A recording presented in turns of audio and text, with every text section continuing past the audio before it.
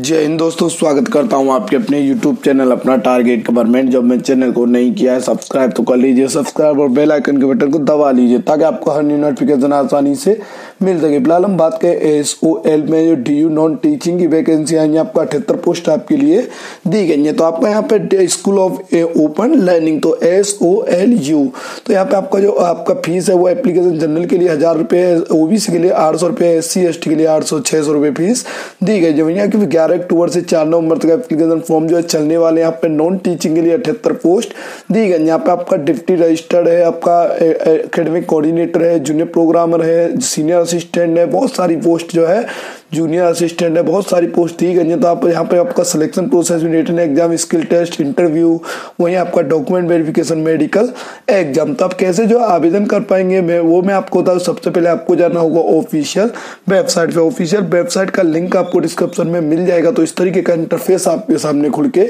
आ जाएगा। तो सबसे पहले क्या आपको रजिस्टर करना होगा तो रजिस्टर के लिए आपको ईमेल आईडी और मोबाइल नंबर डालना होगा। तो यहाँ पे देखिए, सबसे पहले आपको ऑप्शन दिखाई दे रहा है ईमेल आईडी तो यहाँ पे आपको जो आपकी ईमेल आईडी है, वो आपको फिल करनी होगी। फिल करने के बाद आपको ईमेल आईडी खुद की ही फिल करनी है एंड नीचे आपको दिया हुआ है मोबाइल नंबर तो वो मोबाइल नंबर आपको डालना होगा। तो मोबाइल नंबर और ईमेल आईडी खुद का ही डालना है एंड रजिस्टर कर देना है एंड आपको दिखाई देगा आपके मोबाइल पर रजिस्ट्रेशन पासवर्ड चला गया होगा। तो ईमेल आईडी डालनी है, जो पासवर्ड आपका आया है, वो पासवर्ड यहाँ पर आपको डालना होगा। तो जो पासवर्ड है, वो आपको डाल देना है डालने के बाद आपको जो कैप्चा कोड दिखाई दे रहा है, वो आपको डालना होगा। डालने के बाद आपको लॉगिन कर लेना है। एंड जैसे ही लॉगिन करेंगे तो आपका लॉगिन पेज जो है खुल के आ जाएगा। तो यहाँ पे आपको पूछता है एप्लीकेंट फ़र्स्ट नेम तो आपको यहाँ पे नेम डाल देना है एंड फादर्स नेम है, वो आपको डालना होगा। वहीं आपको मदर्स नेम डाल देना है। एंड यहाँ पर दिखाई देगा डेट ऑफ़ बर्थ तो आपको डेट ऑफ़ बर्थ में मंथ है डेट है ईयर है, इस तरीके से डाल देना है एंड आपको कैटेगरी सिलेक्ट करना होगा। किस कैटेगरी से बिलोंग करते हुए विकलांग सर्टिफिकेट है तो आप वो भी सिलेक्ट कर सकते हैं। मेरिटल स्टेटस डालना होगा मैरिड है या अनमेरिड है तो वो आपको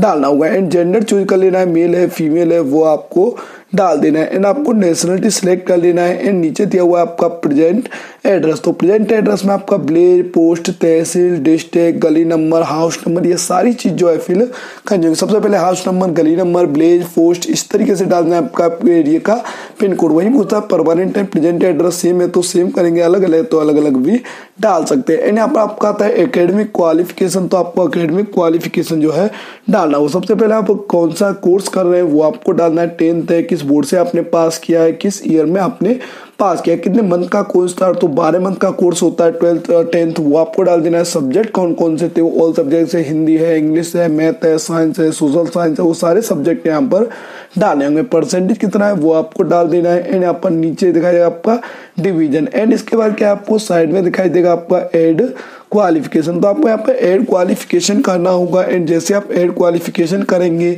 तो आपका क्या यहाँ पर क्वालिफिकेशन ऐड करने के लिए आ गया तो आपको यहाँ पर ट्वेल्थ ऐड कर लेना है। देखिए ट्वेल्थ इस तरीके से आपको स्वयं पोजीशन में ट्वेल्थ लिख देना है। यहाँ पे आपको एड्रो कर जाएँगे। और भी कोई क्वालिफिकेशन है तो एड्रो करेंगे। ट्वेल्थ है, किस बोर्ड से किया किस ईयर में किया कितने मंथ का था सब्जेक्ट कितना परसेंटेज है, वो आपको डालना होगा डालने के बाद इसको नीचे कर लेना है। नीचे आपको पूछता है, आपका वर्किंग एक्सपीरियंस अवेलेबल है तो आप लगा सकते हैं।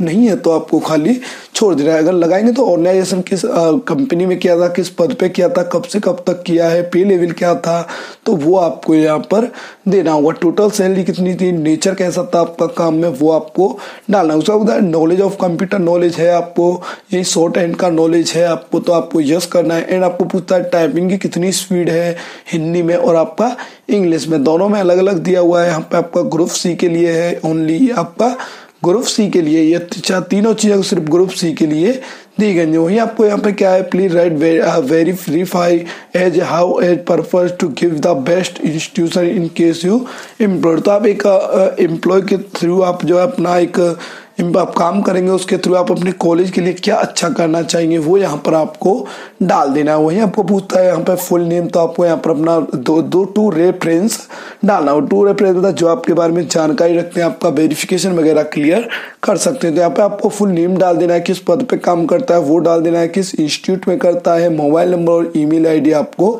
डालना होगा। वही सेम पोजिशन में आपका दूसरा है, कोई तो दूसरे का डाल देना है एंड सेव एंड कंटिन्यू कर देना है। सेव एंड कंटिन्यू करेंगे तो आपका नेक्स्ट ऑप्शन खुल के आ जाएगा। तो यहाँ पे थोड़ी देर आपको क्या है वेट करना होगा। उसके बाद यहाँ पर सिलेक्ट करना होगा experience of Delhi.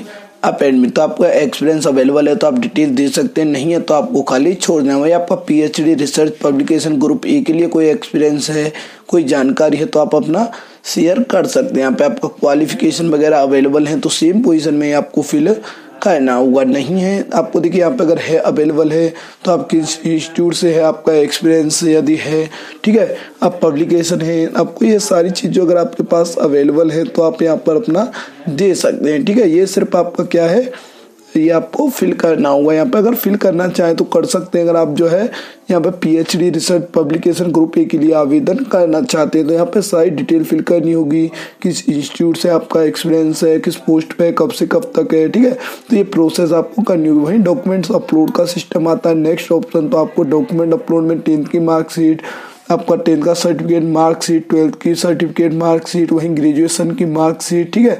Sir degree आपका जो है, फिर उसका आपका जो पोस्ट ग्रेजुएशन की मास्टर डिग्री ठीक है? जो जो आपके पास अवेलेबल है तो वो आपको एक्सपीरियंस है एनओसी है जो आपके पास अवेलेबल है, वो आप अपलोड कर सकते हैं नहीं है तो आपको खाली छोड़ देना है। यहाँ पे आपको देखिए, बहुत से लोग क्या है कि टेंथ का मार्कशीट है कि सर्टिफिकेट नहीं है तो दोनों एक में ही होते हैं तो एक ही अपलोड कर सकते हैं। अलग अलग है तो आप अलग अलग भी अपलोड कर सकते हैं। उसके बाद आपको नीचे दिखाई देगा आपका किस पोस्ट के लिए आप आवेदन करना चाहते हैं। पोस्ट यहाँ पर सिलेक्ट कर सकते हैं। तो जिस पोस्ट के लिए आप आवेदन करना चाहते हैं, वो एक से अधिक पोस्ट के लिए आप आवेदन कर सकते हैं। तो आप पोस्ट सिलेक्ट करेंगे एंड उसके बाद आपको डिक्लेरेशन क्लिक कर लेना है। डिक्लेरेशन क्लिक करेंगे एंड सीवेंट कंटिन्यू पे आपको क्लिक कर लेना है। तो आप सीवेंट कंटिन्यू पे क्लिक करेंगे तो आपका पेमेंट के लिए ऑप्शन खुल के आ जाएगा। आप अलग अलग पेमेंट अलग अलग पोस्ट के लिए करना होगा। जितनी पोस्ट आप सिलेक्ट करेंगे, उतना ही पेमेंट आपके लिए आएगा। तो यहाँ पे मेक पेमेंट कर लेना पेमेंट आप करने के बाद आपका एप्लीकेशन फॉर्म जो है फाइनल हो जाएगा। तो आशा करता हूँ आपको वीडियो काफ़ी पसंद आएगा और आपके लिए काफ़ी हेल्पफुल रहा होगा। ऐसे हेल्पफुल अपडेट्स के लिए हमारे चैनल को सब्सक्राइब कर ले। थैंक यू फॉर वॉचिंग अपना टारगेट गवर्नमेंट जॉब